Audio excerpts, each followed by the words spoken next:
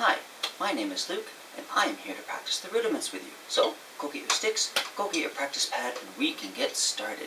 Today, we are going to be doing the 16th, or sorry, the single stroke roll using 16th notes at 65 BPM for 5 minutes. I'm going to be starting these with my right hand. If you're left-handed, definitely feel free to start with these, these with your uh, left-handed. Uh, if you do not have your sticks or a practice pad while you're at work, definitely feel free to tap along on your legs. For those of you who are really into double bass, definitely feel free to tap along with your feet. Alright, so without further ado, let's get started. One, two, three, four.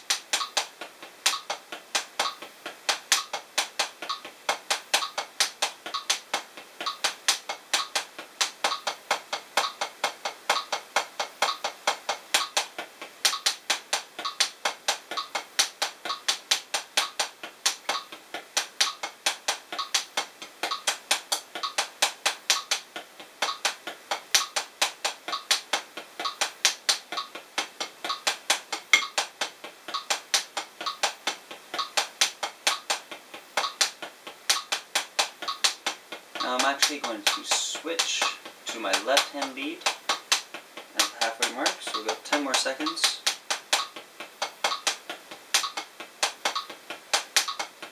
Two, one, and switch.